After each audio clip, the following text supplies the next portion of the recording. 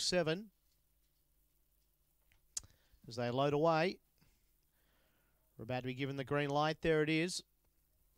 Race three here, Angle Park, set, ready, racing, and Chili Allen was probably the best into stride. It's darting across and will find the rail in the early stages. Running to second was flown away. Then underneath it was Lillian Page. Improving around it was McIver Neville.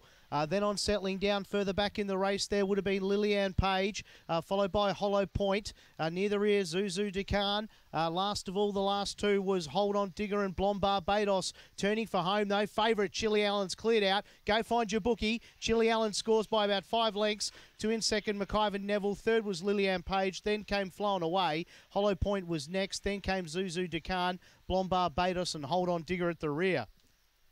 Wow, they stormed into it late. $2.40 on the tote. Back like a good thing and one like it. Chili Allen, too good. Way too good here. Numbers will be 7, 3, and 4. 7, Chili Allen defeating the 3, McIver Neville, and the 4, Lillian Page for third.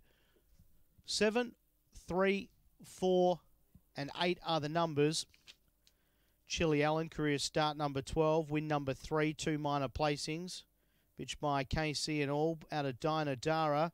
Andrea Gurry owned and trained. Congratulations to her. Defeating the 3, McIver Neville for Kevin Booley.